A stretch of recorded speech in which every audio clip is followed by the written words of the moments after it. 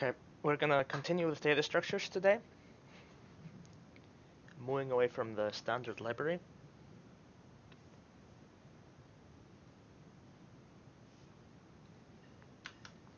So we're gonna cover the union find data structure, which you've already seen in the algorithms course. Uh, we're also gonna look at some applications of that, and then we're gonna look at range queries. Uh, we'll view a couple of different methods for that, including square root decomposition and segment trees. So what is union find? Uh, it is a data structure for maintaining a disjoint set union, often just called DSU. Uh, so you have n items and you want to be able to split them up into sets. At first everything is in its own set and then you can use two commands find which helps you find what uh, what set a particular item is in and then union allows you to uh, say okay everything in the set that X is in is now in the set that Y is in. So you will unite these two sets.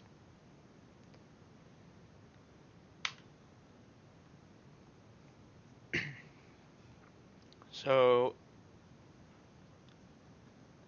the find function just returns an integer which represents uh, which set the item is in.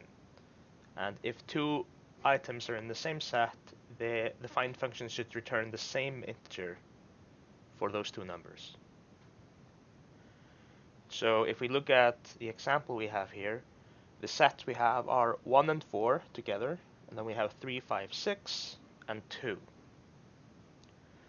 So find of, find of 1 returns 1, and because 4 is in the same set, find of 4 also returns 1. And then same for the next set, we have find of 3 returns 5, find of 5 returns 5, find of 6 returns 5, and then find of 2 returns 2. And the way we check if two items are in the same set is we just check if find A equals find B.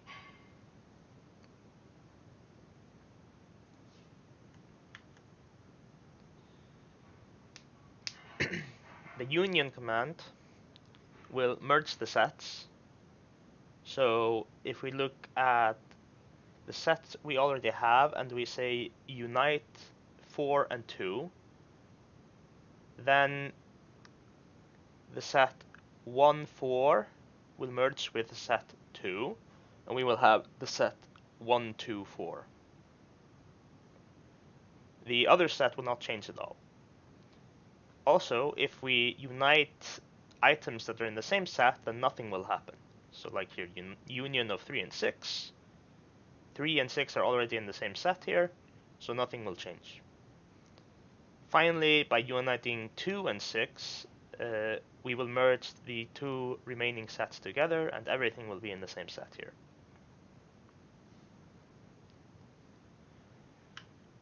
Okay, so how do we implement this?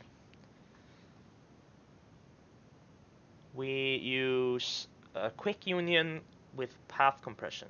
And the good thing about this is that the implementation is extremely simple. And also it is extremely efficient. The time complexity is near con constant, but not completely constant.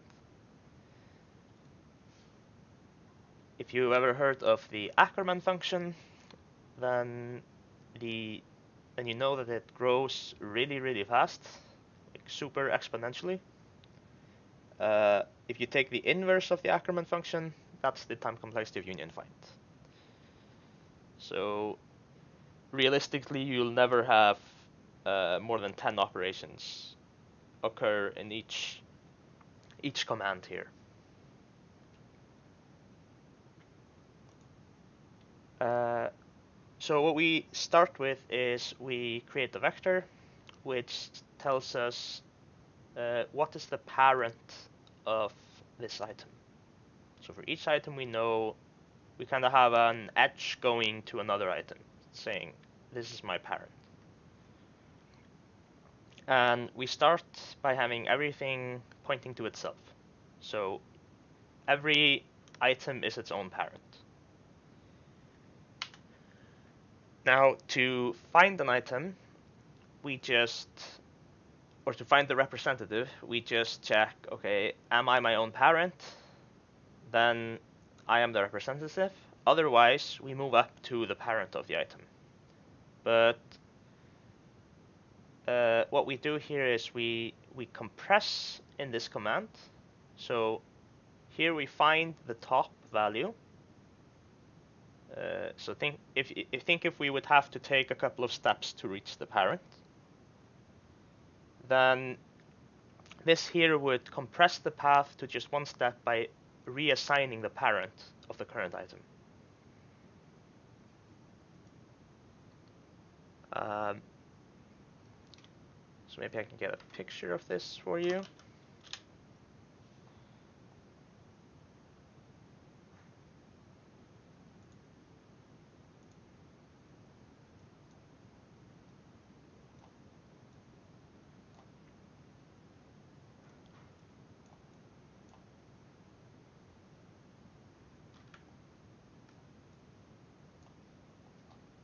So suppose we call find on this node here.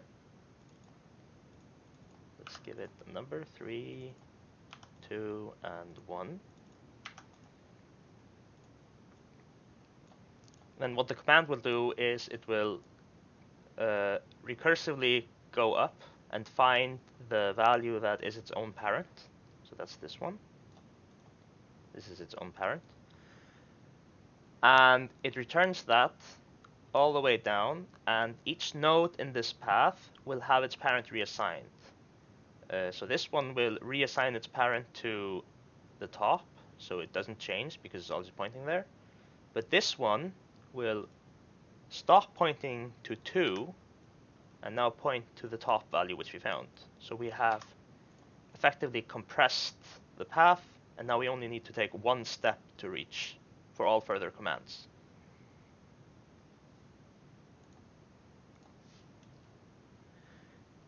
And then it just returns the value uh, it was assigned. For uniting, we just uh, find the representative of x and we make that one point to the representative of y. So the representative x used to point to itself, but now it will point to the representative i and y, and then they are connected. And if you're in a hurry and you want a compact version of this code, you can write it up like this. It's really short, but it's a bit harder to read. This is uh, essentially an if statement here. It's called a ternary operator.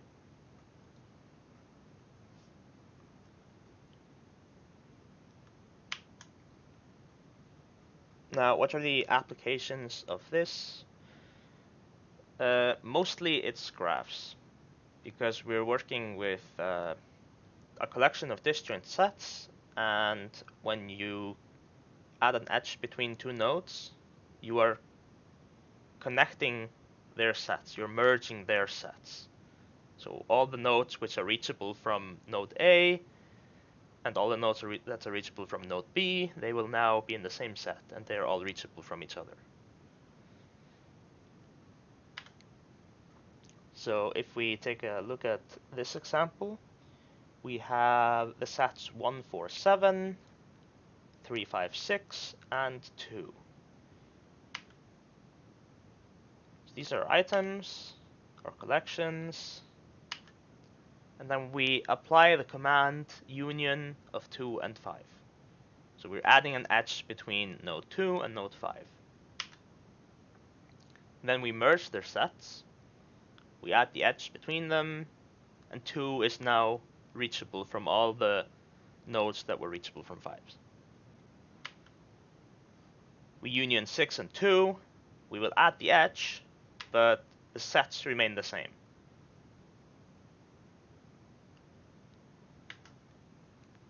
And let's look at this problem.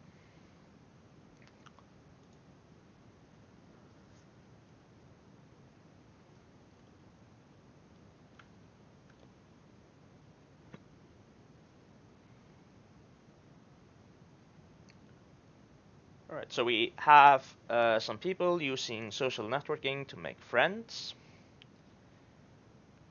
Uh, and they're addicted. And they're collecting virtual friends. And so we're supposed to uh, tell the size of the, the friend network. And we assume every friendship is mutual. So if we look at the sample, we have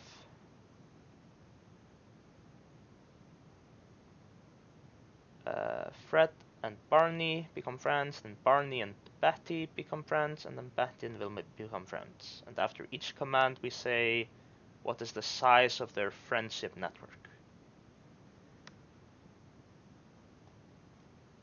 So everyone has just size 1 at the start. When we connect Fred and Barney with each other, they have size 2. When we connect Barney and Betty, we have added Betty to the friend network that Fred and Barney had. So there's 3 now. And then Wilma gets added later, so it's 4. Uh, if this command appeared before this command, then the output would be 224. 2, 4 because we would not have connected uh, Betty and Wilma to Fred and Barney at the start.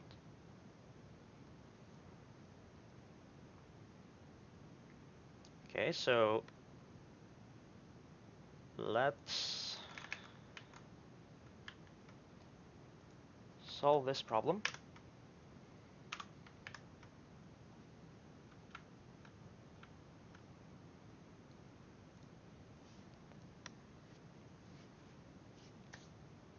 And I'm gonna get the union find code which I showed you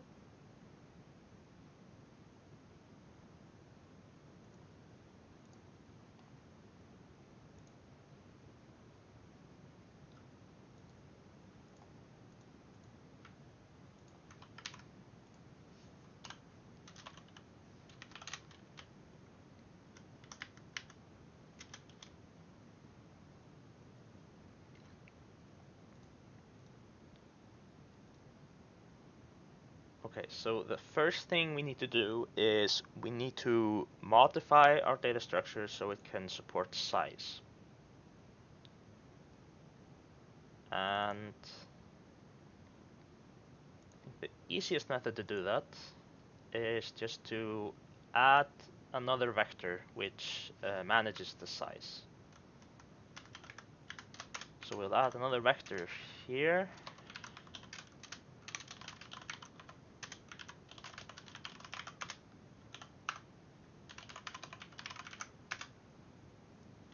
call it count.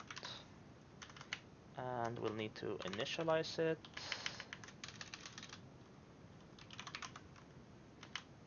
And then each item just starts uh, in its own set so everything should start as one.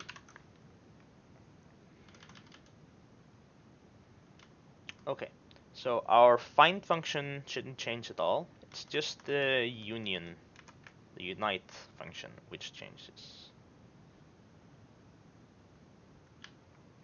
Okay, so what I'm gonna do is I'm first gonna get the values of the representatives. So let's find of x and then y representative is find of y. Okay, and if these are the same representatives, then we're in the same set. So we'll just return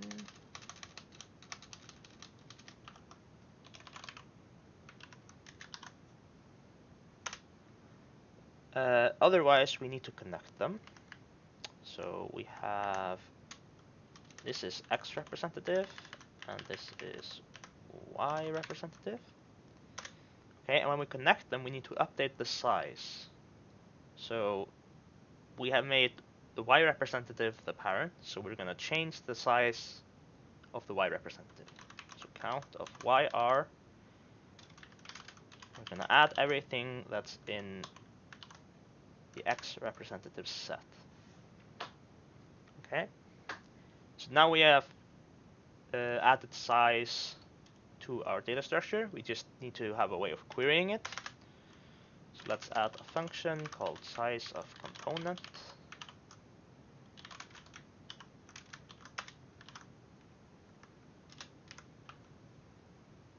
And we'll just have to find the representative of the item and return its count.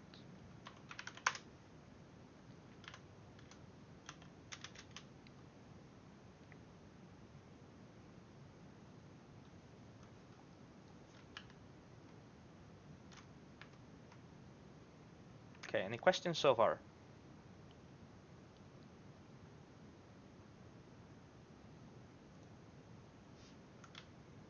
Right, then let's move on to the program itself.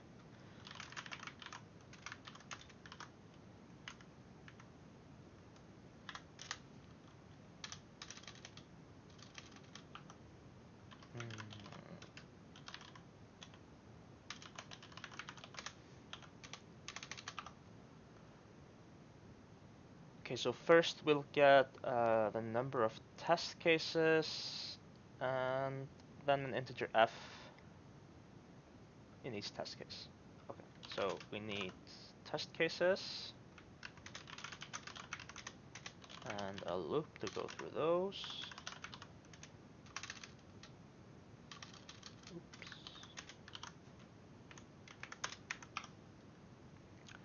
And then we'll have the number of friendships. Uh, I call it m since this is edges in a graph essentially.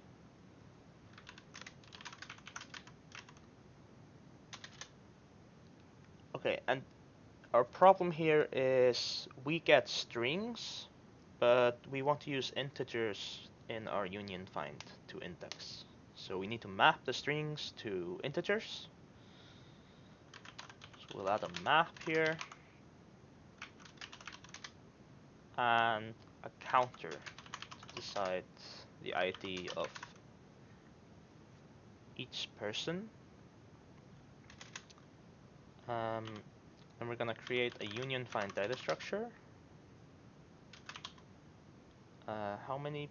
It's mm, at most 100,000, so that's 200,000 people at most. Will be no. Let's just go with 400,000 and a bit more.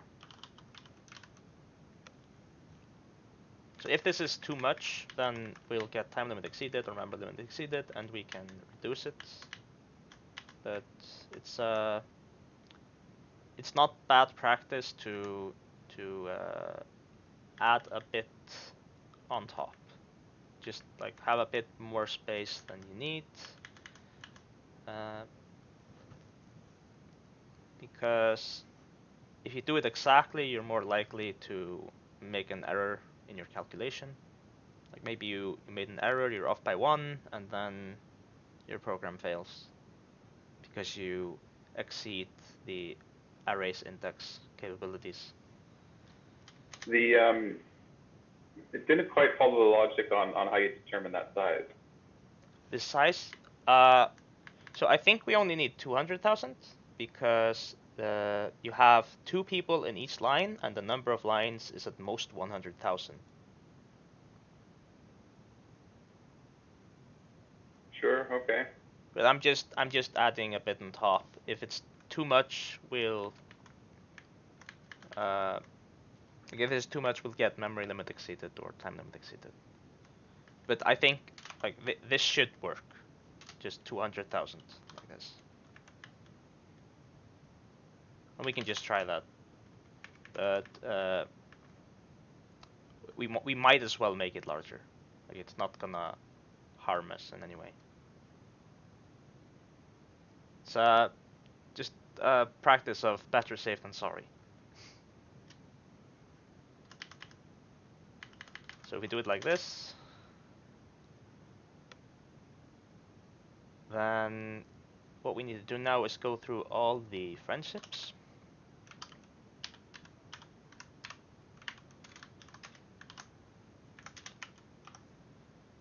And for each friendship we read two names, A and B.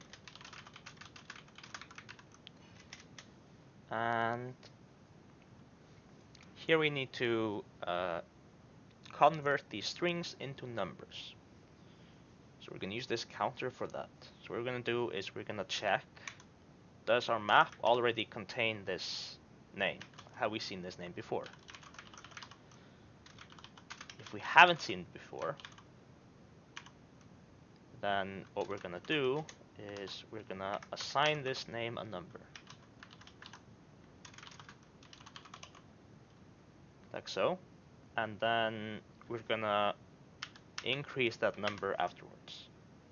So maybe this is clearer. Okay, same for the other name.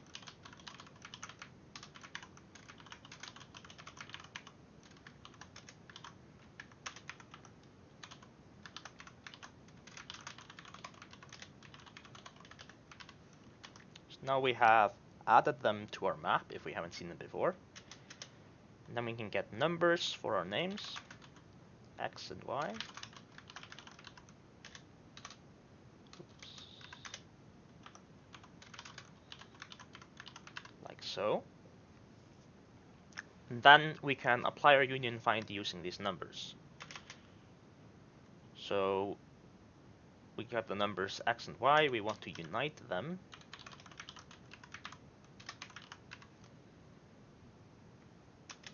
and then we want to write out the size after the union. So we'll call our function plug in either number doesn't matter which one in the same set. And that's everything we need to do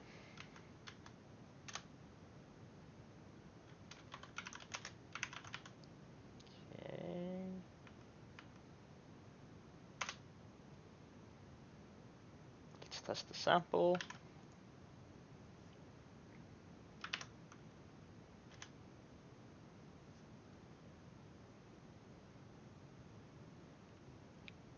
Two, three, and four. Yeah, did I make too many lines?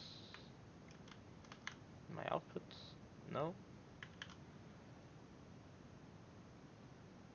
Okay, let's just try submitting this.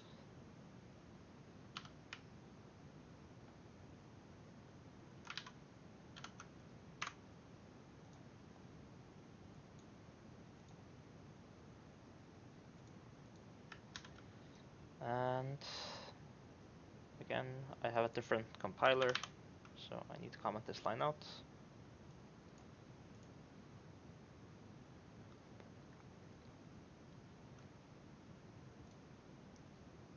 And accept it. Okay so any questions about this problem using size and union find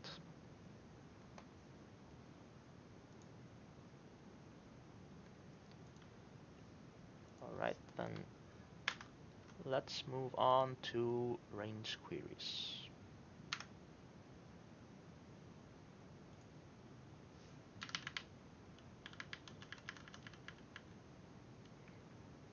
Okay, so this is a very common subtask in uh, that you need to do in many problems.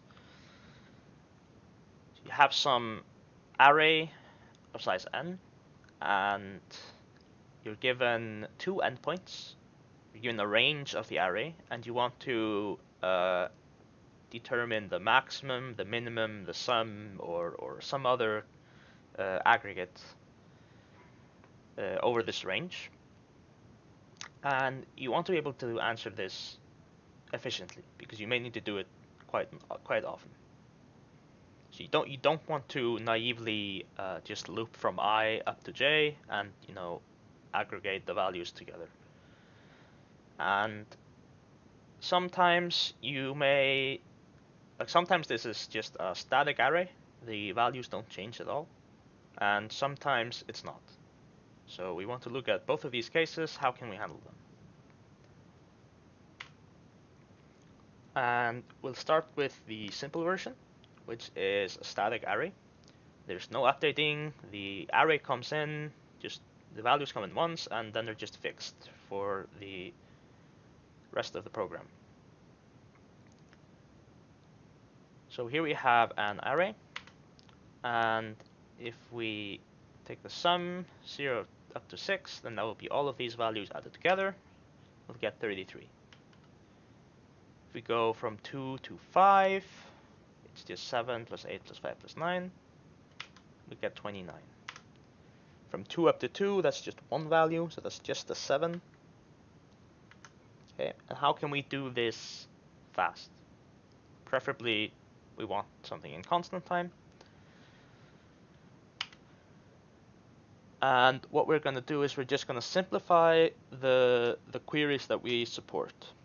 So in, instead of supporting a query from any starting index, we'll just support queries that start at 0 and go to some end index.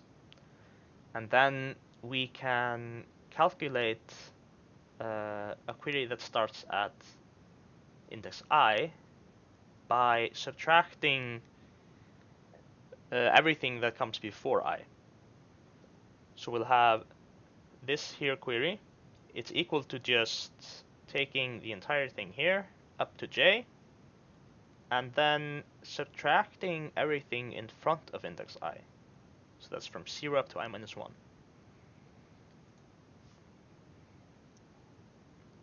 So now what we're only interest, interested in are prefix sums of the array.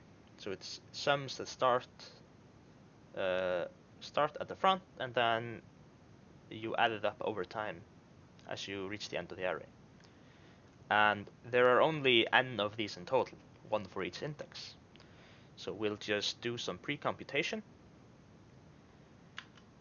First we start with 1, we put that in index in the first index of our array.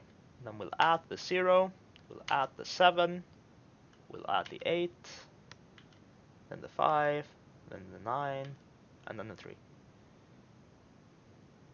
Okay? So it takes often time to do this pre-processing, and after that we can query in constant time. Because all we have to do is index into this new array we have, which is constant time, uh, twice. So now the question is, can we can we change this to support updating? So it's not just a static array. And the answer is no, sadly. We'll have to do some modification in order to support updating.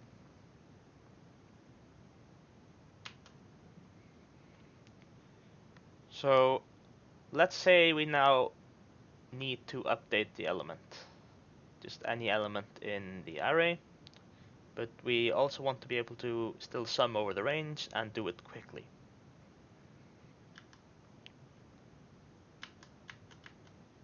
So yeah, here we have the sum is 33 in total, and we want to be able to change this 8 to a minus 2. Okay, so the sum should change. Now it's 23. So how do we do this? We we want to uh, avoid iterating too much. We'll have to we'll have to loop through the uh, array, but we want to do less of it. So what we're going to do is we're going to split the array into buckets. So if we say k equals 2, that's the size of the buckets, then we'll split them up like so. And now we have around n divided by k buckets. And we'll store, we'll, we'll pre-process by storing the sum of elements inside each bucket. So now we'll have these buckets. Sum is 1 for the first one. The next is 7 plus 8, and then we have 5 plus 9 and then just uh, one item in the last bucket because it's at the end. So now when we update, we not only update the, the value in the array, but we also uh, take the difference and update the the bucket itself as well. Or we can just uh, recompute it even just by iterating. So suppose we update now 3 with negative 2, we can now just loop over this bucket and find out that 7 minus 2 is 5. And then we have uh, updated everything we need to process this quickly when we query. The time complexity of this is O of k, so it's just the size of the bucket.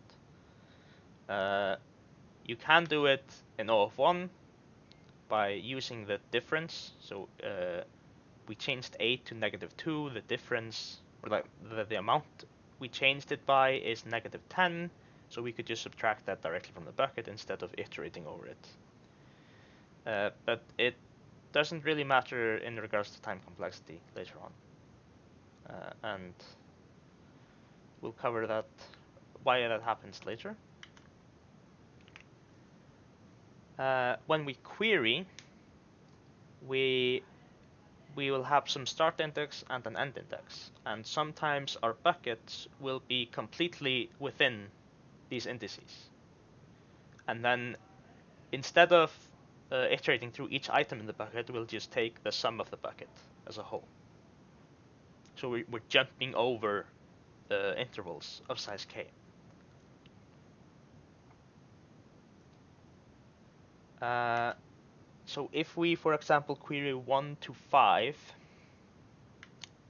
uh, we can, as you see here, we can remove uh, iterating over the 7 and 8 individually and just take the bucket of size 15 instead. Same with the next bucket, we'll just take the entire bucket instead of iterating through it and then we'll just have done uh, three operations instead of five. The sum will be the same.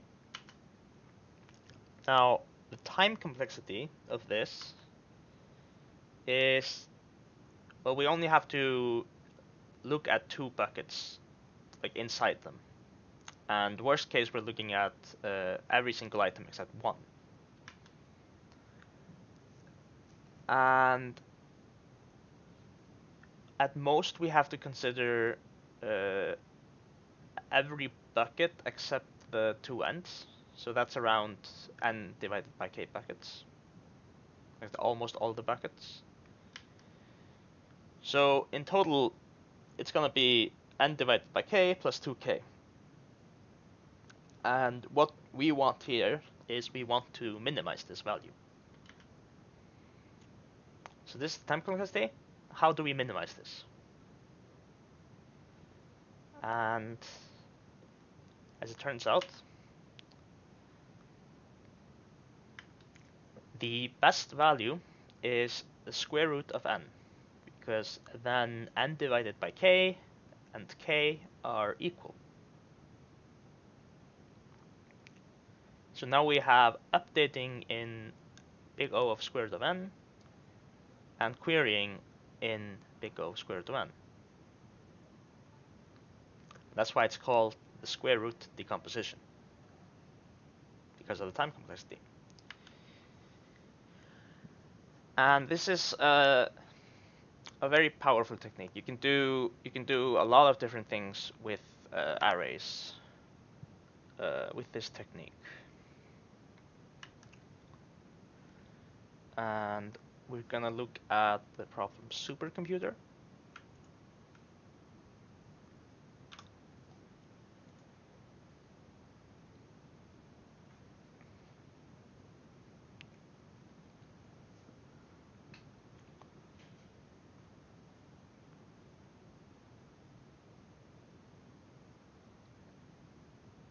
So here we have uh, a computer. Yeah, we just have bits. It's just bits, not integers. So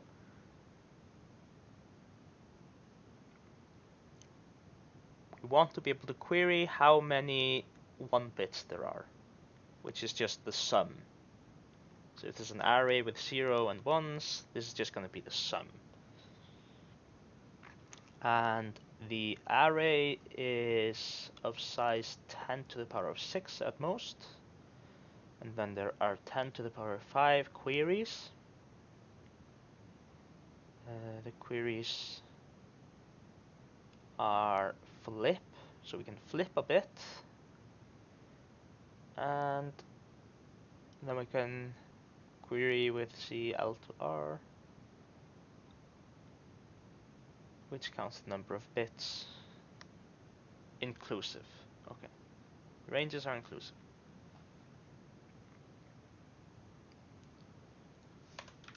So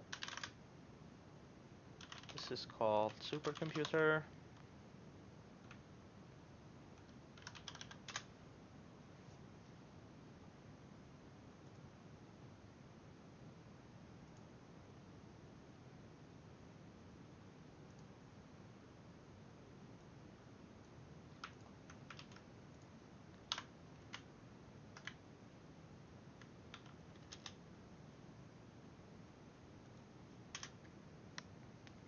Okay, so first we have to read n and the number of items and then the number of queries.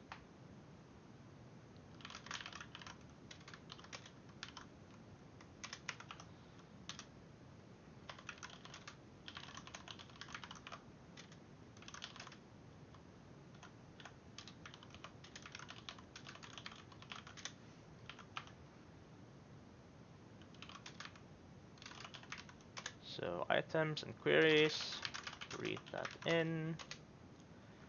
Now we want to choose our k for the size of the buckets. That was the square root of n.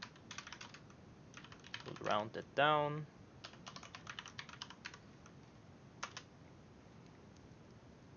Okay, and then we need two arrays. One for the bits and then one which uh, is for the buckets, the sum in the buckets. So we'll have bits, and then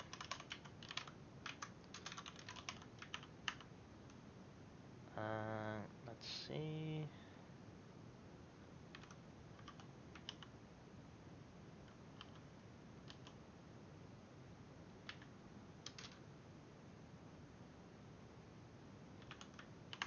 Yeah, I think this is correct. Yeah. So this is the number of buckets you'll need.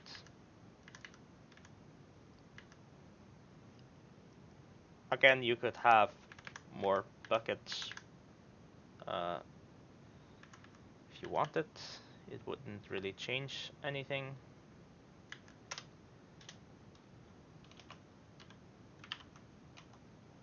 So we'll go through the queries and first starts with a character which is the operation we'll be doing. Okay, let's start with flips. Those are the easier queries. So if it's a flip, we need one integer. And in the problem, the indices are yeah, they're one based. Okay, so we have to change them to zero based. So we subtract and then we just need to check. Okay, if it's a one, we're flipping it to a zero and reducing the sum by one. So if the current bit here is one,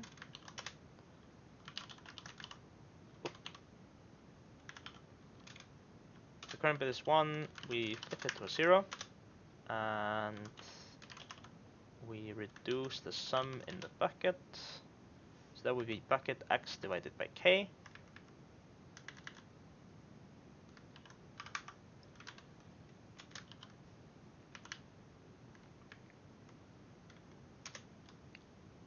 And otherwise, we flip it to a 1 and increase the value in the bucket.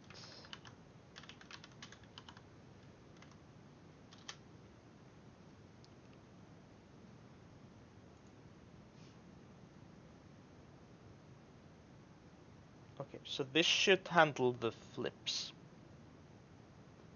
Uh, and now for the queries.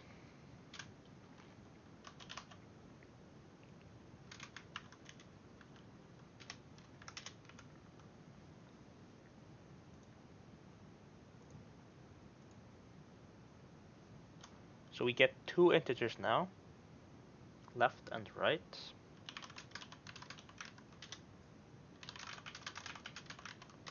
And we need to change them to zero base indexing. So subtract one. And then we want to iterate and collect the sum. So what we're gonna do is we're going to go through every single bucket and we'll handle the three possible cases uh, that can occur. So that's uh, the bucket is completely within the range, the bucket is partially within the range, and finally it's completely out of the range and won't be included at all. So let's go through the buckets, starting with bucket 0.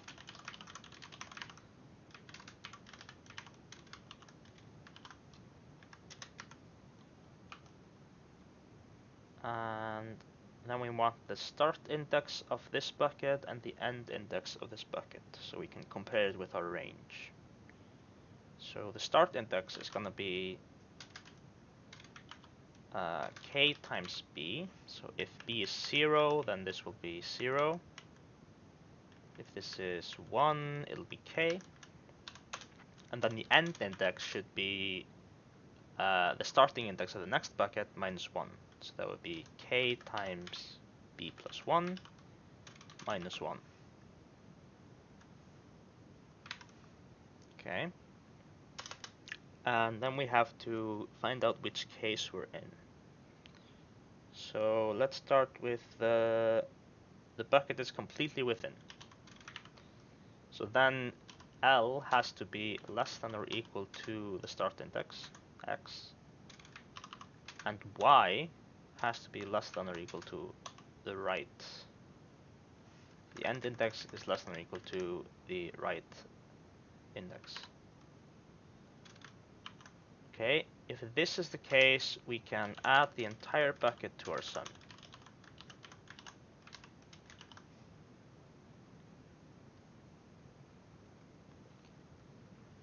Okay. Now let's do the case where it's completely outside the range.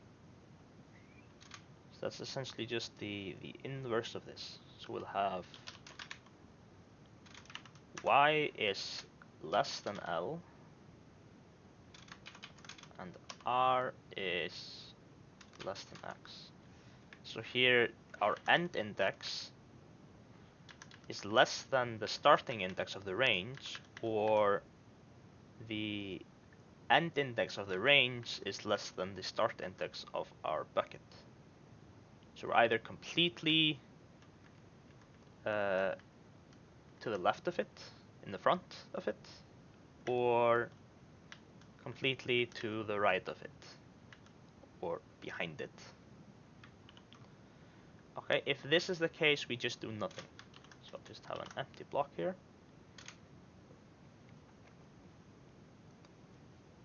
Finally,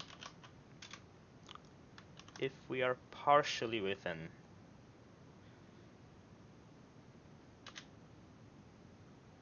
then we have to loop uh, in our bucket. And let's see this is gonna be the maximum of L and X. So if we are intersecting the range at the left, then the x will be the greater value. If we're intersecting uh, at the end or on the right, the L will be the greater value.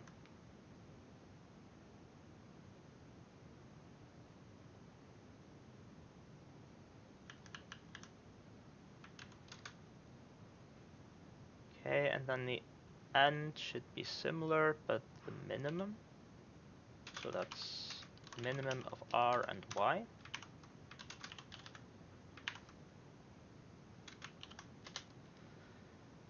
And then we could say if this bit is set, we'll add one.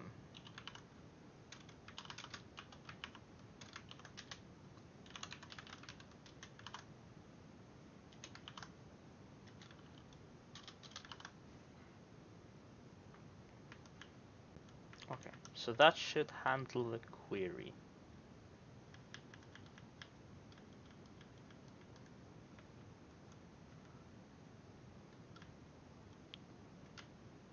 And then all we have to do is output each time we query. So output the sum here.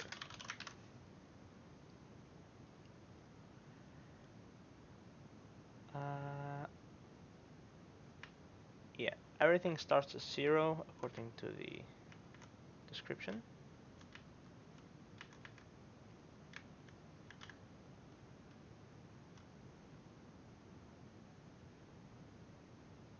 Yeah. This should be complete.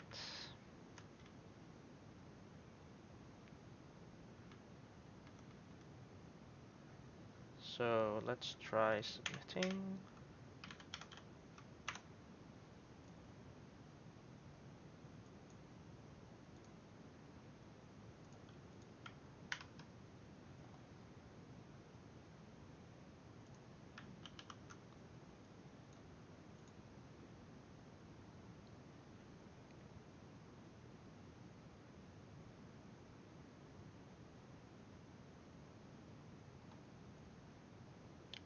Success. Uh, so, any questions about this problem?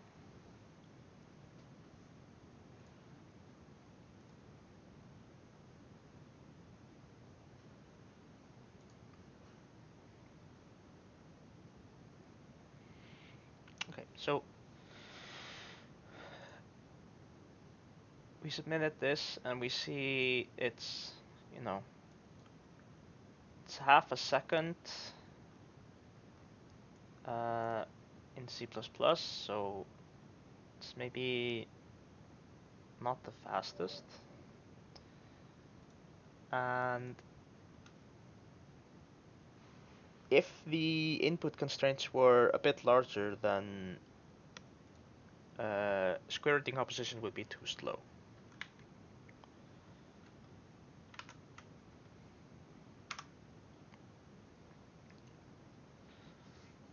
So if, if, if n were a bit larger or we had more queries, then this would be just too slow. We need something we need something a bit faster.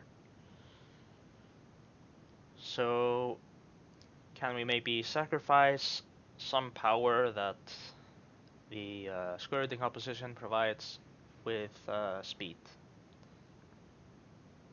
So before when we went from uh, from the prefix sums to to square root decomposition, we threw away speed to gain power. We, we wanted to be able to update. Now we want to do the opposite. So we're gonna use what's called uh, a segment tree. And it's essentially just a binary tree where the nodes have ranges in the array associated with them. So we'll create a node for for each item in the array and then we'll uh, join adjacent nodes with each other. So here 1 and 0 will both have the same parent node which will contain their sum. 7 and 8 will have the same parent node which contain their sum. 5 and 9 same thing and then for the next step we'll join these adjacent nodes. So their sum will be 16 and it will be in their parent node here. The 14 and this 3 uh, looks kind of weird because we didn't have a power of 2 so we have this uh, odd one out at the end. Uh, but we'll take their sum and put that in node here and then finally we'll have the root which you know covers everything. Okay, so each vertex here contains the sum of some some uh, range segment in the array. So if we look at uh, this node here, that's the first four values. So here is a code which creates a segment tree for an array like this. Uh, we'll have uh, we'll have left and right children for each node, and then a node will have three values, uh, a from and a to, which says which indices they cover. Cover all the indices from the value from up to the value to. And then we also have the value, which is just the sum. Uh, and then this build function here will return a segment tree for the array provided within the range provided. So if you're calling this in your main function, you would plug in 0 and n minus 1 here. So first of all, if, if L is greater than R, we have just nothing, we're done. So we return null. Uh, otherwise, we'll create the node which covers this range. And in the case that uh, L and R are the same value, we have reached uh, just a single item. So we'll just uh, set the value of the item to the in, uh, value at that index. Otherwise, we want uh, to cut our range in two parts. So we'll find the middle and then we'll build a node uh, on the as the left child which goes from uh, L up to the middle and then similarly for the right child from n plus 1 up to the right index and if both of these uh, if the build functions for both of these return an actual node, then it'll not be null, and we will want to add that to our sum here.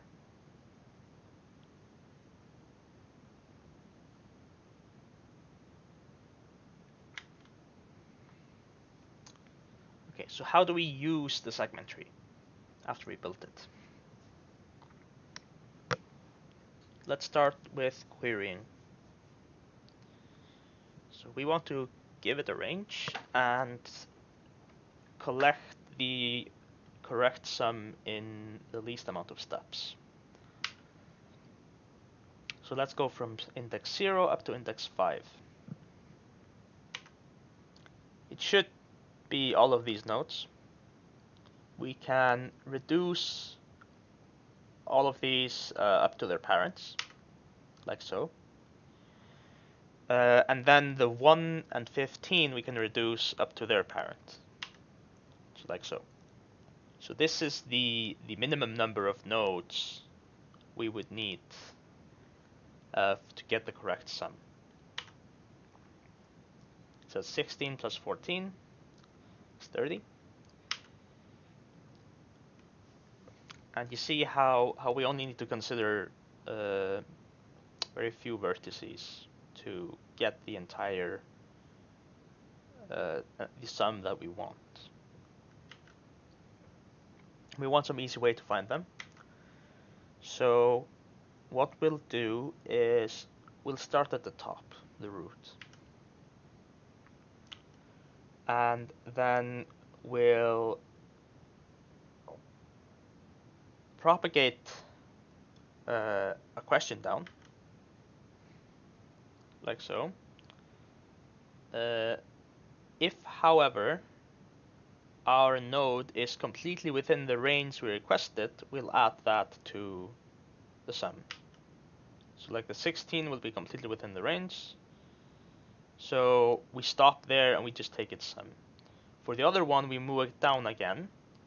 And now our the node with 14 is completely within the range. So that gets added to the sum. The 3, however, is completely outside the range. So we uh, just return 0 for that. We don't add it to our sum. Just drop it completely. Then we have code that looks like this. Uh, if we're at a null pointer, we return 0. If uh, if we are completely within the range requested, so our from value is greater or equal to this L, or less L is less than or equal to the from value, and again, the to value is less than or equal to R. Then we just return the value of this node. Okay, then we have two cases of being completely outside. Our to value could be to the left of the range, or our from value could be to the right of the range. Both of these do the same thing. You just return zero, because then won't, won't it won't affect our sum. Uh, otherwise, we just propagate this down to our children. So you ask your left child and your right child, and you sum the values they provide to get your result.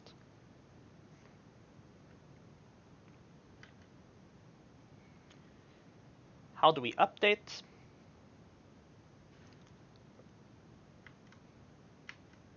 So we want to change uh, this 8 to a 5.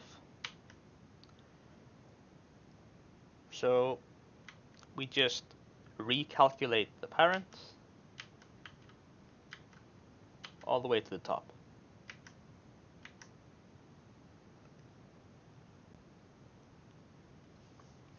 So the first thing we have to do is we have to check if we're at a null pointer. Now we just return nothing.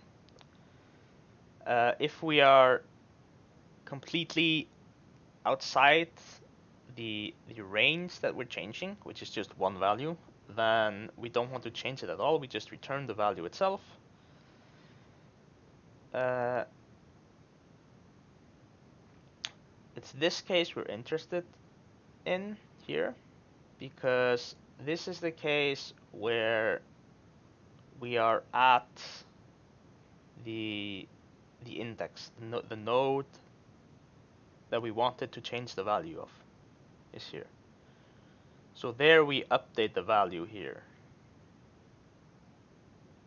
Uh, the other case is we, we are a parent of this value, so we want to recalculate our value here.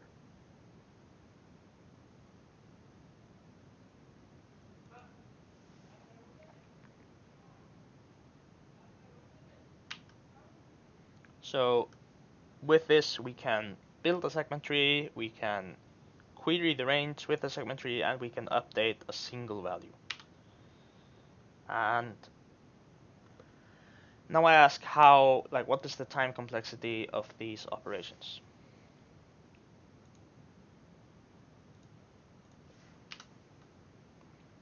Building the segment tree is O of.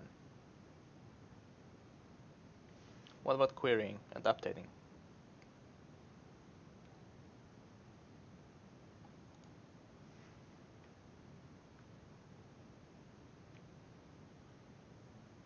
Any suggestions?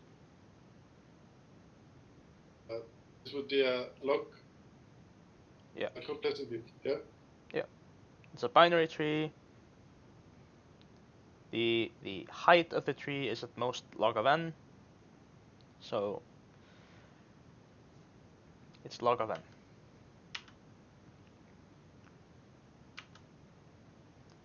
And the thing you can use segment trees for is you have these associative operations uh, like min, max, GCD, uh, addition, multiplication, not subtraction, not division. So um, associative operations. Let's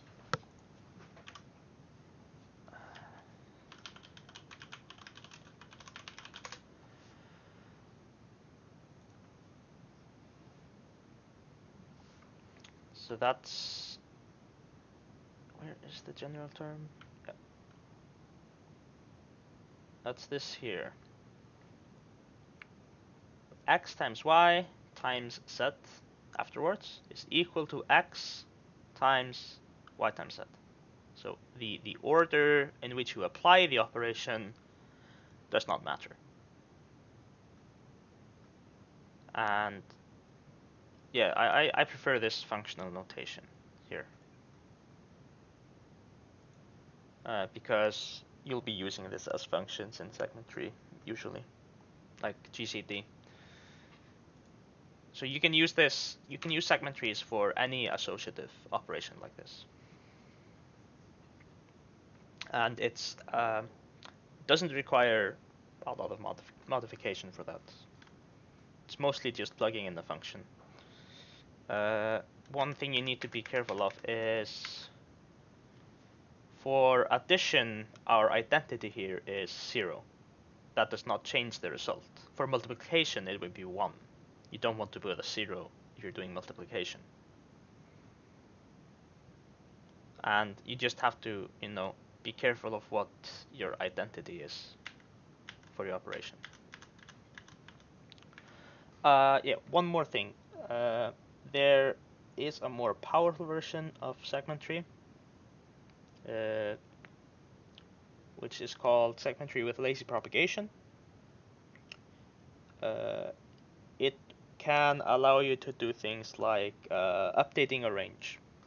So if you instead want to add 23 to all the values between index 7 and 20, then you need segment trees with lazy propagation to do that. Or you could use square root decomposition. So like I said, we're when we're moving from square root decomposition to segment trees, we are sacrificing power. And I, on the spot, I can't think of a thing that a segment tree can do that a square root decomposition. No, I, I mean, uh, things a square root decomposition can do yeah, square root decomposition can do the things that segment trees can do, but not necessarily vice versa.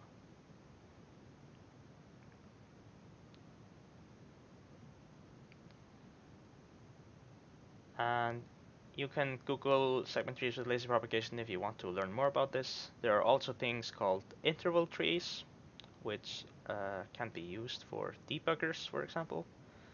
So these are not like competitive programming specific data structures. These uh, come up all the time in just computer science when you're making software.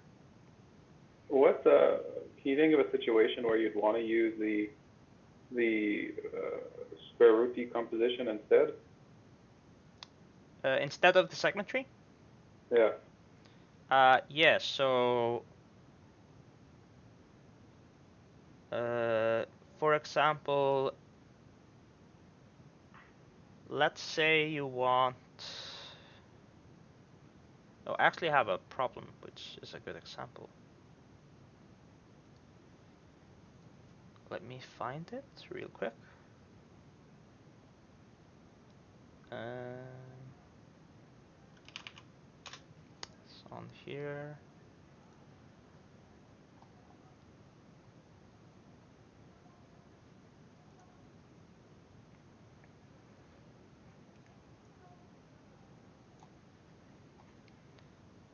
So here you have a sequence of numbers, just an array, and you have a k query, uh, which is just something they call this triple ijk.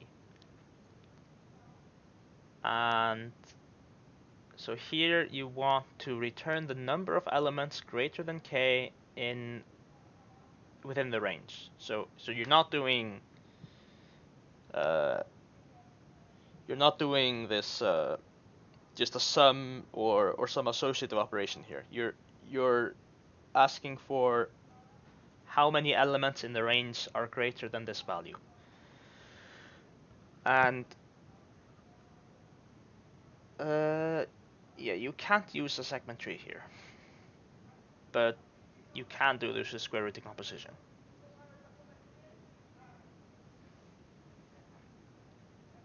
It's uh it's trickier than the like it's it's more complicated square root decomposition than the one I showed you, but but the I mean, idea with the, the idea is with the segment tree, couldn't you just store at each node like the sum of of the things in the segment that are greater than k? Yeah, like, but I mean, I guess k will keep changing. Yeah. yeah, k changes. That's the problem. If it were fixed, you could do it, and you also you could probably do it. Uh, so this online in the name, this means that they they require you to answer each query instantly. Normally, normally you could process the entire input, and uh, then at the end output everything. But because you need to uh, do this this XOR thing with your last answer, uh, you need to have found this value before you move on to the next query. So so maybe you could use a segment tree if this wasn't the case. But but but this is just an example. Like here you have something that um, changes uh, or isn't an associative operation, which makes using a segment tree harder or impossible. It just isn't the correct data structure for the problem.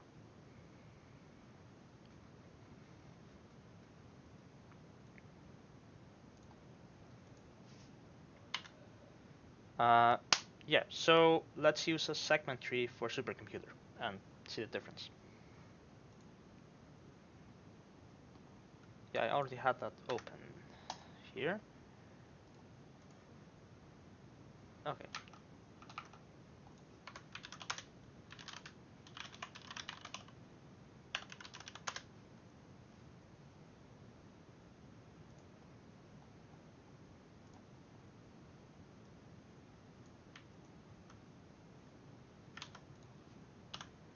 Okay, so I'm gonna get the segment tree code I provided you.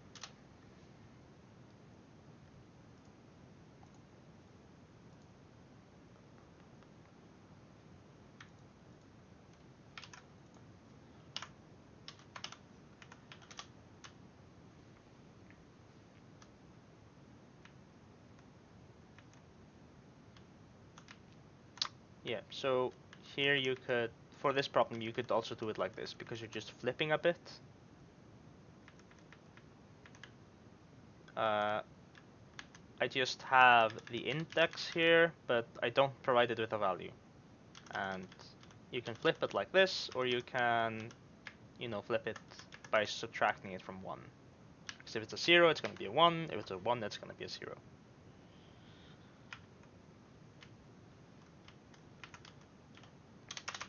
Okay. So the rest is basically very simple because we're just calling our data structure to handle everything.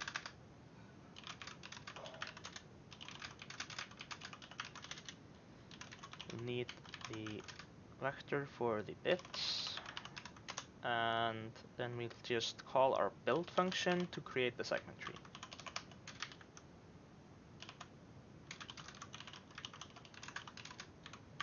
I said, you put in 0 and n minus 1 for the entire array. And then we just handle the queries.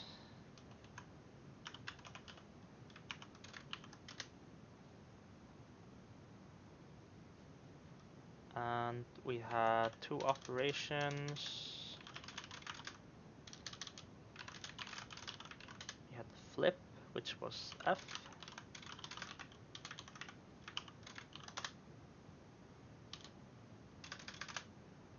And that was one value converted to zero base and then just call our update function with the segment tree we created and the index we want to flip. Okay. Otherwise, this is a range query. LR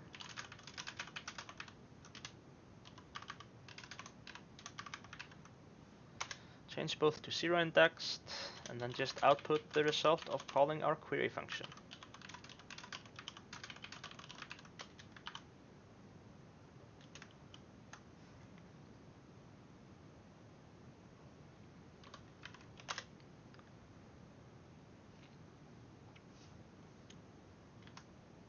So really simple if you already have this available to you.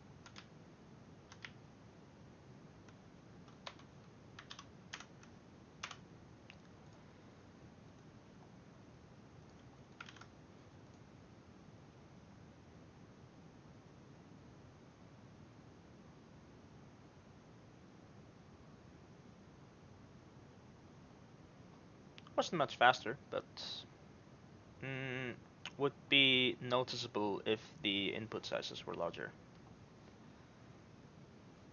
Um, also, this implementation uh, uses nodes, like uh, pointers to, and you have to allocate the memory a lot. Uh, there is another way to make segment trees to build them by just having an array, and then each index in the array represents a node and that runs much faster. Uh, if you if you look up implementation of segment trees, you can probably find one, and you can see how it's implemented. Uh, it's just a, a matter of finding how to index properly within the array which marks the nodes. Uh, yeah, I think that's it for today.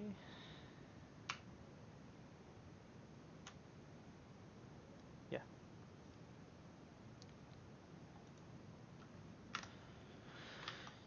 So, any questions at the end?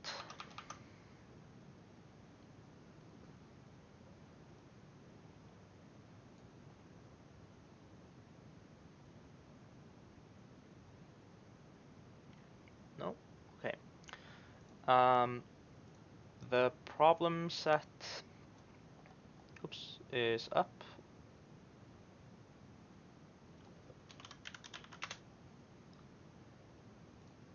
Problem set 3. Uh, there are six problems. One of them is worth two points because it is much harder, in my opinion. That's this one. Uh, the rest are one points, and you need three points for a full score. Then we have two bonus problems, uh, Cuckoo hashing and disastrous downfall. Uh, one question, maybe. Uh, uh, tomorrow we have uh, different day type of day. Yeah, you have we have the problem session tomorrow. Yeah, thank you.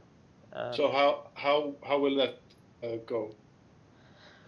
Uh, so you you will group up preferably just with the group you've been working with in the other problem sets. Uh, and we will have a short programming contest. Uh, it's essentially just you, you get a problem set from the topics we've covered so far, so the first three. And you have three hours to solve the problems provided. Uh, let me see.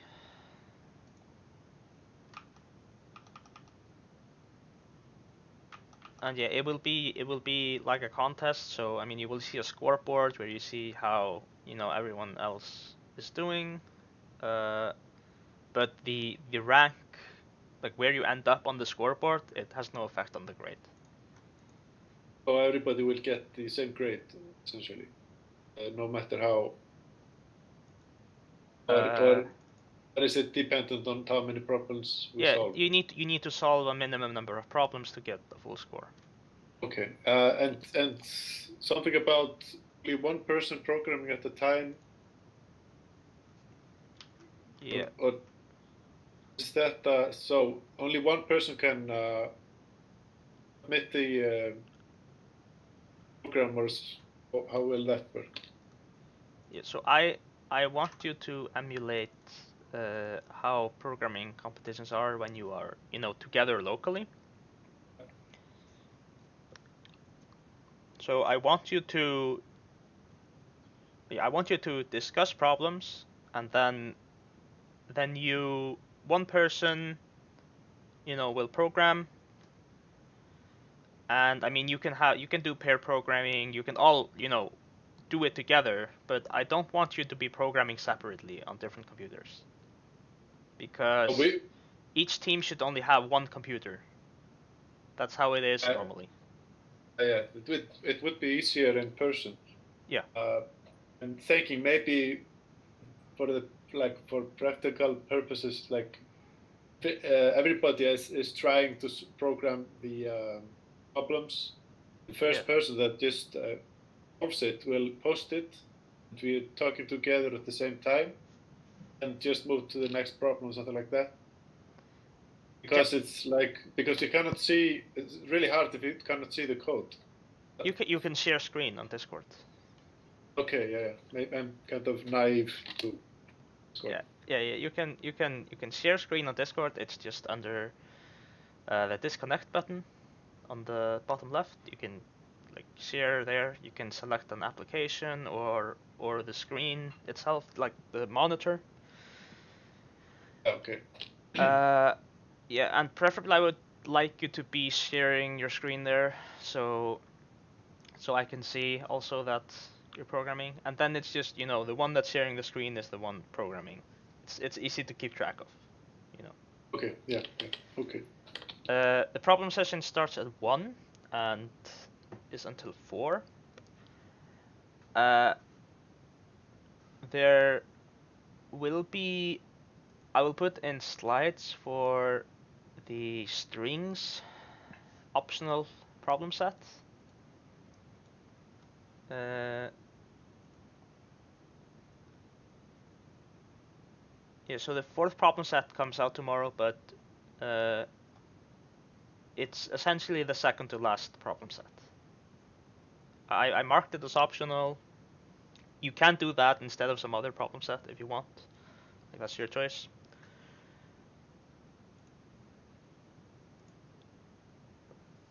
Uh, yeah, in the problem session we'll have.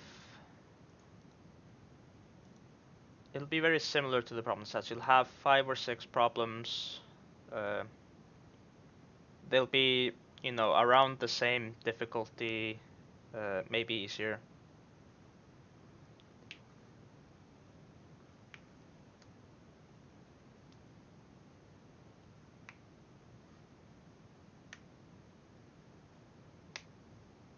Uh, yeah, and don't be late because it starts at exactly one. I just put it in the system and it starts automatically. And you will have exactly three hours. Uh, I recommend that you uh, you discuss the problems. Like you read you read all the problems first. Uh, try to find out what's the easiest one. Discuss what the solution to that problem is, and then one person goes to program that, while the rest continue discussion. Uh, that is just, uh, in my opinion, the optimal method for these competitions. Uh, you can also, if you want, you can have one person looking at the problems and two doing the programming. That's also a good good method, but but don't. I, wouldn't recommend everyone focus on the programming, and I don't recommend everyone looking at different problems uh, unless you're 100% confident you can solve them by yourself. The greatest tool you have are your team members. You can discuss the problems with them. It will pre- present you with new ideas and just make problem solving easier all around. This is why companies have teams because people talk together and they come up with solutions faster and better that way.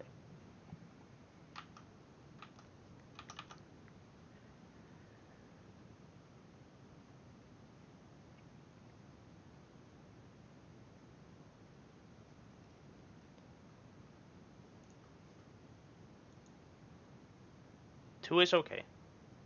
I mean, one is okay if you want to make uh, life hard, but but three is the max.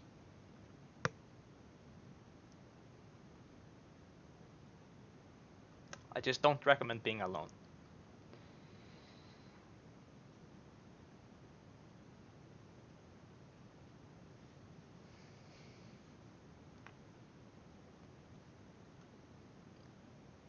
So please, if you if you do not have a group member, uh, let me know.